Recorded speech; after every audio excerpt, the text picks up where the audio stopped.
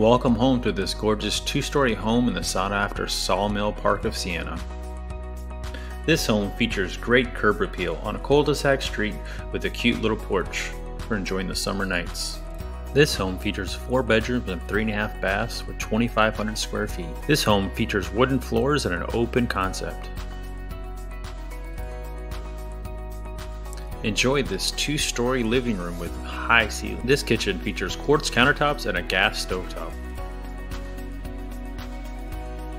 Be sure to notice the stainless steel appliances on this move-in ready home. Notice this great space for an eat-in kitchen. The primary bedroom is tucked away for owner's retreat. There's so much more to see, come before it's gone.